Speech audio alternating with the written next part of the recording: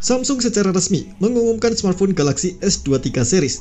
Tak hanya mengumumkan saja, berbagai teknologi terbaru juga tersedia di smartphone flagship terbaru tersebut. Apa saja teknologinya? Samsung Galaxy S23 series sebagai seri andalan terbaru memiliki tiga model yang terdiri dari Samsung Galaxy S23 standar, Galaxy S23 Plus, dan yang paling tertinggi adalah S23 Ultra.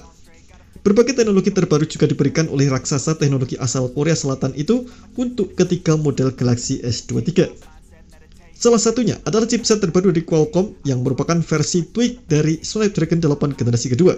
Chip tersebut dijuluki Snapdragon 8 generasi kedua Mobile Platform for Galaxy.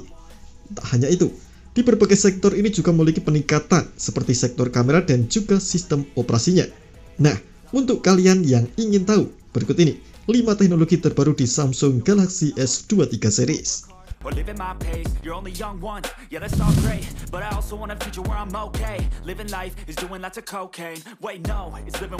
Ketika model Galaxy S23 series menggunakan chipset khusus yang didesain dari hasil kolaborasi antara Samsung dan Qualcomm. Ya, Snapdragon 8 generasi kedua Mobile Platform for Galaxy. Sebenarnya, Versi standar chipset ini sudah cukup cepat, namun dengan versi khusus ini, chip semakin lebih cepat daripada versi standarnya.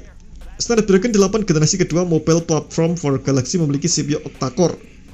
Satu Cortex X3 berjalan dengan kecepatan clock 3,36 GHz, dua Cortex A715 dengan clock speed 2,8 GHz, dua Cortex A710 clock speed 2,8 GHz, dan tiga Cortex A510 dengan clock speed 2,0 GHz. Untuk GPU-nya, chip ini memiliki Adreno 740 yang diklaim mampu memberikan cahaya pantulan dan iluminasi yang nyata dalam game seluler.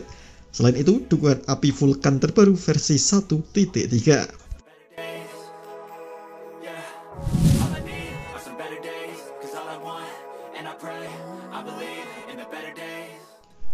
Sensor kamera Asusel HP2 pada Galaxy S23 series merupakan sensor terbaru dari Samsung.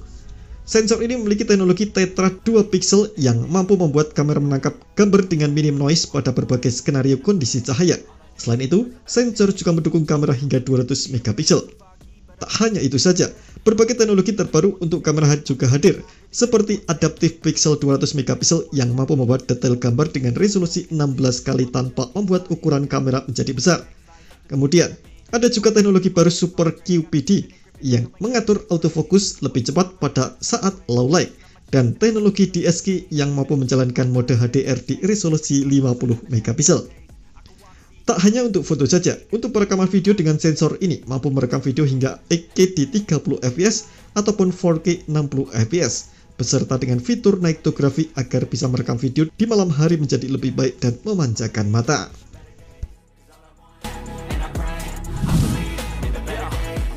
Between a rock and a hard place Do I work hard or live at my pace? You're only young once, yeah that's all great Samsung Galaxy S23 series memiliki ketahanan layar dengan perlindungan versi terbaru yakni Corning Gorilla Glass Victus 2. Asal tahu saja, Samsung Galaxy S23 series menjadi smartphone pertama yang menggunakan perlindungan layar Gorilla Glass Victus 2 yang baru dirilis pada Desember 2022.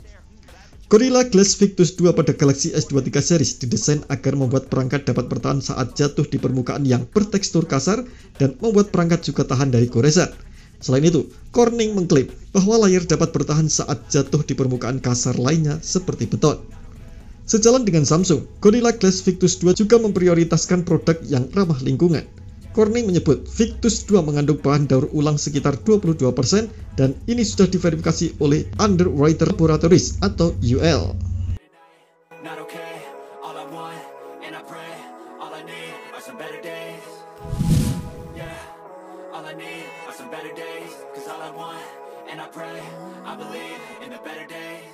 Samsung Galaxy 23 series menggunakan penyimpanan internal versi terbaru yakni UFS 4.0 Teknologi penyimpanan UFS 4.0 ini baru dirilis pada akhir tahun 2022 lalu dan diklaim sebagai teknologi penyimpanan yang sangat cepat yang pernah dibuat. UFS 4.0 sebagai versi penyimpanan paling baru dari Samsung mampu bekerja dengan efisiensi hingga 45%. Di sisi lain, untuk kemampuan membaca sekuensialnya mencapai 4200 megabit per detik dan kecepatan tulis sekuensial hingga 2800 megabit per detik. Selain itu, UFS 4.0 juga memiliki dukungan kapasitas hingga 1 TB seperti yang ada pada Galaxy S23 Ultra. Meskipun mendukung hingga 1 TB, tapi ukurannya sangat kecil dengan dimensi 11 x 13 x 1 mm yang membuat ponsel menjadi lebih ringkas.